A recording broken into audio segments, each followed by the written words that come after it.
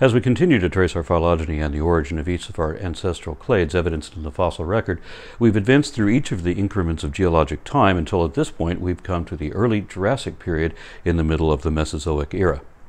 Like all other such periods, the Jurassic begins and ends with mass extinctions. There's even a brief extinction event occurring within that period, but there's only one, and it's not the global cataclysm that some of the previous ones were.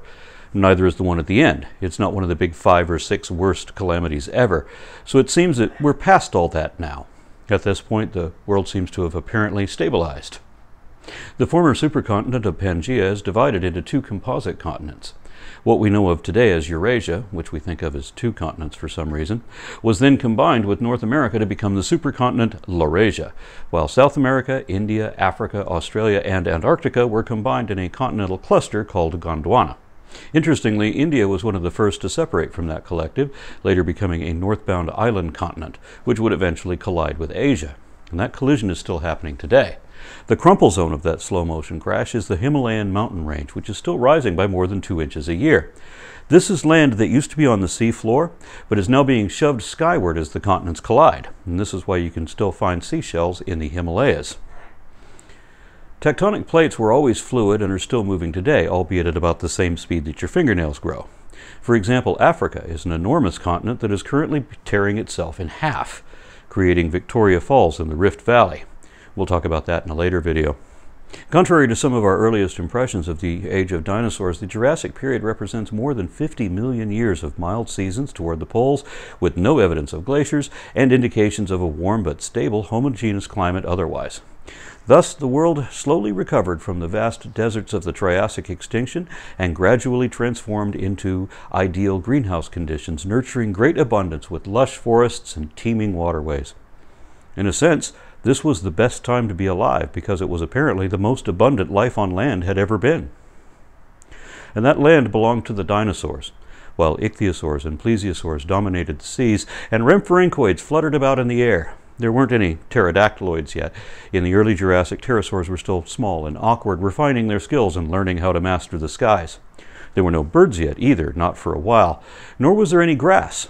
Instead, there were fields of horsetails that might have looked like meadows of grass. This was a different world.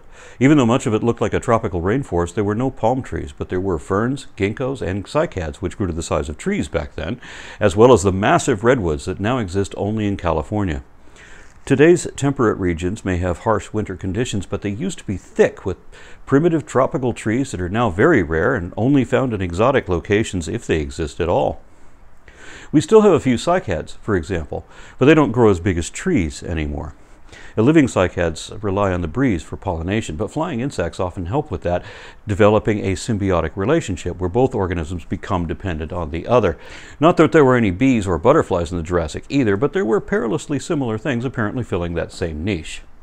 There were as yet no flowering plants either. So the cereals, herbs, and vegetables that we're used to didn't exist yet. There wasn't anything like that. No potatoes, tomatoes, or any familiar fruits or vegetables, and no spices, peppers, or seasonings at all other than just salt, because that's just a rock.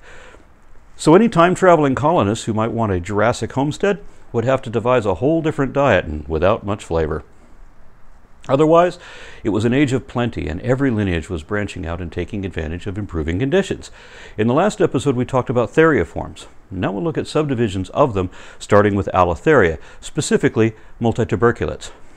They get their name from the multiple rows of cusps in their grinding molars. Some of these animals were arboreal and lived like prehistoric squirrels, eating nuts and seeds, and some of them had large bladed premolars that sliced through the husk before grinding the pulp. They also had large incisors like rodents, and they managed to hold out until the eventual rise of true rodents. Fossils found so far indicate that uh, multituberculates, a side branch of our own lineage, emerged in the late Jurassic and survived all the way until the Oligocene period more than 100 million years later, making them one of the longest lasting race of mammals ever, even though they're all extinct now.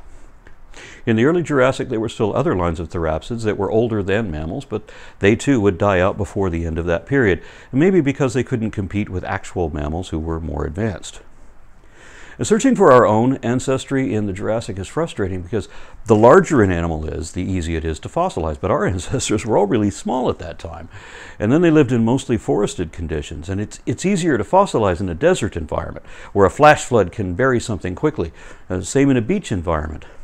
Animal bodies frequently wash up on the shore soon after they die and are quickly buried in the pounding waves, especially in extreme conditions like a tsunami or storm surge. But you have quite the opposite conditions on a moist forest floor. There, the bodies are not as likely to be buried and insulated quickly enough to uh, avoid acidic compounds and an abundance of microbes breaking down anything they can get to. So that very often, only the enamel covered teeth last long enough to fossilize. Fortunately, we can tell quite a lot from teeth. They're the most diagnostic feature of all of vertebrate paleontology. Look at Gondwanatheria, for example. All of these are known from fragments, no complete skeletons, and some of them are known only from their uniquely distinctive teeth. On that note, we look at our own clade, Holotheria, a word that means the whole of mammalia, which is funny because it doesn't include allotheres, monotremes, or triconodonts. oh well.